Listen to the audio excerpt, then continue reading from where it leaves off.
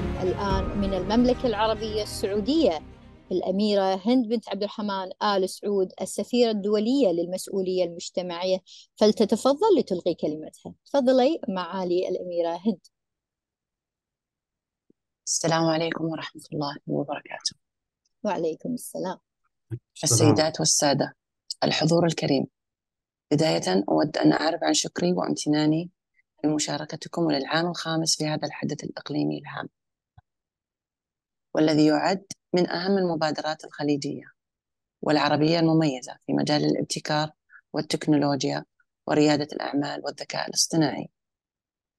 لقد تسارعت جهود المملكة العربية السعودية إلى دعم منظومة الابتكار وريادة الأعمال والذكاء الاصطناعي والتكنولوجيا وذلك عبر تأسيس الصناديق السيادية والهيئات للابتكار والتكنولوجيا والذكاء الاصطناعي مثل منشآت وسدايا والهيئة السعودية للملكية الفكرية وهيئة تنمية البحث والتطوير والابتكار والعديد من برامج مسرعات وحاضنات الأعمال وجمعيات النفع العام التي تتماشى مع الخطة التنموية للمملكة لعام 2030 وفي ذات السياق ركز المؤتمر في هذا العام على التنويع الاقتصادي القائم على الرقمنة وكذلك رفع المؤشرات التنافسية العالمية حيث ينعكس الاهتمام بريادة الأعمال والابتكار إيجابا على النمو الاقتصادي المحلي والعالمي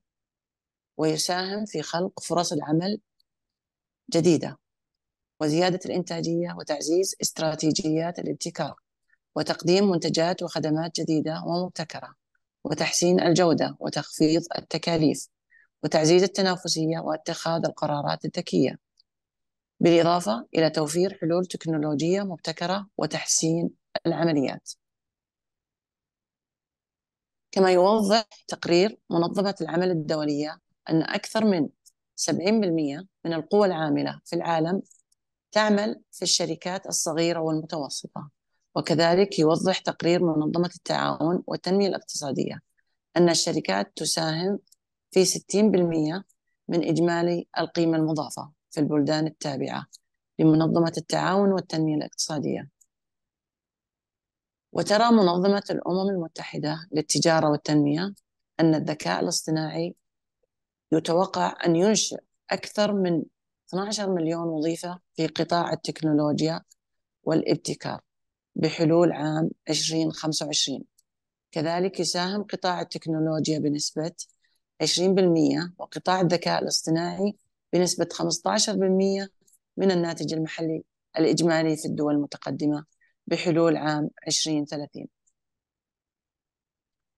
السيدات والسادة الحضور الكريم في نهاية كلمتي أود أن أعبر عن شكري الخاص للدكتورة هنادي المباركي رئيسة المؤتمر والقائمين على تنظيم فعالياته والجهود المبذولة.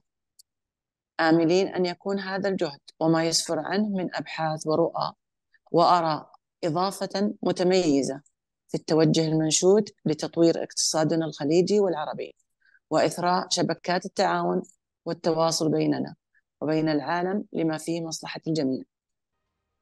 خالص تحياتي للحضور الكريم والسلام عليكم ورحمة الله وبركاته.